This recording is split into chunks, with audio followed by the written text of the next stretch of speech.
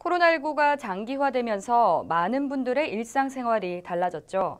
하지만 장애인들은 더욱 심각한 상황이라고 하는데요. 이에 따른 특별 대책 마련에 대한 목소리가 높습니다. 서정용 기자가 그 목소리를 들어봤습니다. 발달 장애인 부모들은 코로나19의 사회적 거리두기로 각종 돌봄 사업들이 중단 축소된 것이 장애인과 가족에게 죽음을 가져왔다며 대책을 촉구하고 있습니다. 부모들은 실제로 지난 3월 제주에 이어 6월 광주에서도 고통을 호소하며 극단적 선택을 한 사건은 모두 발달 장애인 학생과 그 어머니였다고 주장하고 있습니다. 전국 장애인 부모연대는 모든 활동이 단절되고 생활 루틴이 깨지면 발달 장애인들은 도전적 행동을 하게 되고 이들은 죽음에 내몰렸다는 지적이 나오고 있습니다.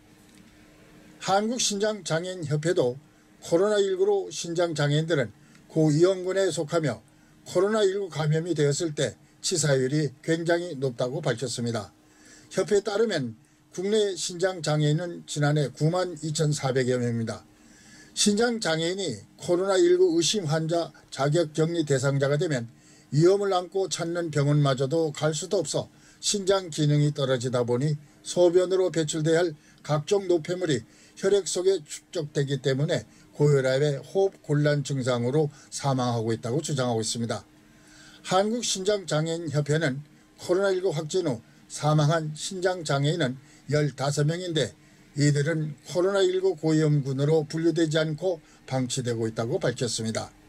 장애인 단체들은 감염병에 대한 정보 전파에서부터 초기 대응과 치료 단계에서의 확진 환자와 자격 격리자 지원 그리고 안정화 단계에서의 서비스 공백으로 인한 피해 지원 등 감염병 대응 방안 매뉴얼 구축이 필요하다고 전하고 있습니다. 복지TV 뉴스 서정영입니다.